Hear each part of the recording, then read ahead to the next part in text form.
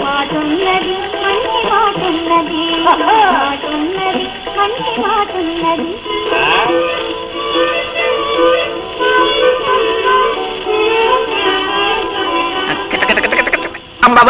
ఎక్కడికి? పెద్ద బుజ్జి పెద్ద బుజ్జి ఇక్కడ లేరా నా బంగారు తోపులు బాగుంటా నాకు ఇందుకే ఇలా ఆ, కూర్చో, కూర్చో. ఏం కూకోవటంలే బావా. బజ్జీలు బోండాలు అమ్ముకుంటూ మగదిక్కు లేకుండా ఎంతకాలం బతకటం? నిజమేనే. నన్ను చేసుకోవచ్చుగా. నీ బొండాల వ్యాపారం చూసి పెడతా. మనిద్దరం కలవాలంటే ముందు మన వ్యాపారాలు కూడా కలవాలి. అప్పుడు రాజు రాణిలా జోరుగా బతకచ్చు. కలిపేద్దాం. ఆ? కానీ ఆ సారా వ్యాపారం నాది కదే అసుబ్బి గారిది.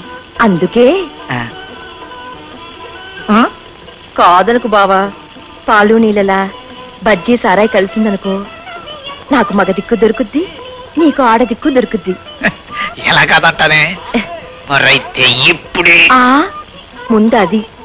ఉమ్, అయితే ఇప్పుడే లైన్ వేసేస్తాను ఆ. జై నా చిన్న బుజ్జి పప్పా చెట్టు మొత్తం బోడి.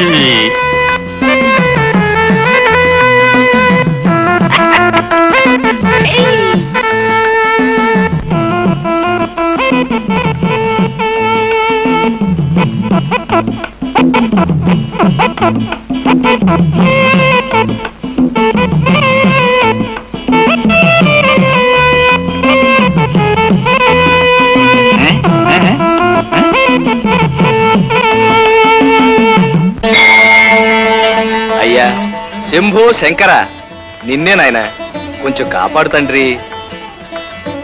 ఒళ్ళు తెలియక తొందరపడి వయసు వచ్చిన పిల్లని చెంపదెబ్బ కొట్టాను. కలిసొచ్చి మనసిచ్చే సమయంలోనే పొరపాటు చేశాను. ఇప్పుడు ఆ పిల్లకి నా మీద పేకల దాకా కోపం ఉంది. నువ్వే ఎలాగైనా సరే ఆ పిల్లకి నచ్చ చెప్పాలి. ఓసే అమ్మాయి కోపం ఉన్న చోటే ప్రేమ ఉంటుంది. కొట్టేవాడే ప్రాణాలు పెట్టేవాడు అవుతాడని నువ్వే ఎలాగైనా సరే నచ్చ చెప్పాలి. ఆ? ఆ? కుండీలో డబ్బులే లేదని ఏమనుకోవద్దు. నా పర్సు ఆ పిల్ల దగ్గర ఉండిపోయింది స్వామి. నా పద్దులో రాసుకో. పర్సు రాగానే చెల్లించేసుకుంటాను. వస్తాను.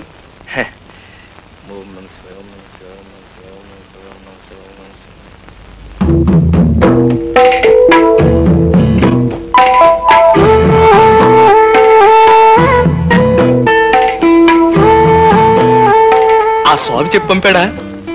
ఏమని?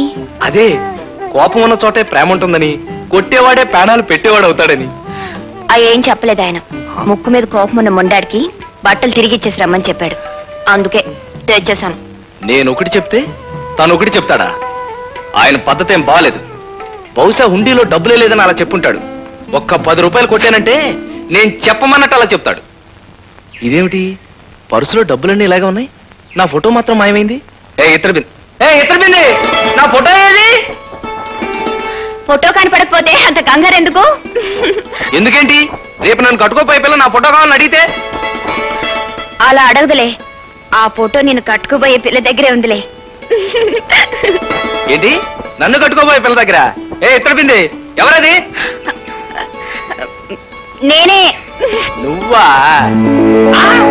నువ్వా?